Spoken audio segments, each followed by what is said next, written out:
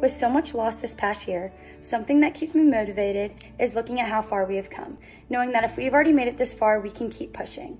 Knowing that I have so many people supporting me through this tough time has also helped me stay positive and keep motivated. What motivates me when so much is lost is that it's my senior year and one last chance to make history with such a special group of girls. Given that our season was taken from us in the fall, we used it to fuel our fire and get ready for a potential spring season. What motivates me to keep playing is really the support of my loved ones, my friends, my family, my teammates, and especially my coaching staff.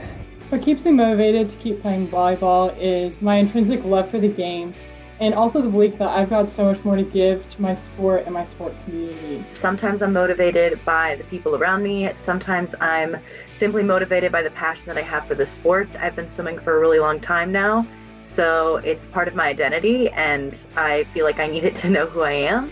I can easily say that my teammates are what motivates me to keep playing despite all that's lost.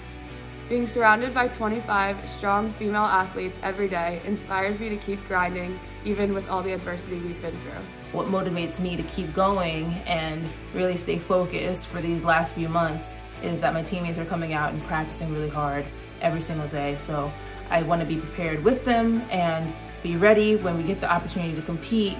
We want to touch those courts and do the best we can. I think it's really important to remain thankful and grateful of everything we do have. Even though so much has been lost, we've gained so much. So basically, by knowing that I'm at the best place in the world, surrounded by the best people, and so many people are here to support me, um, I'm motivated every single day to get up and do what I can.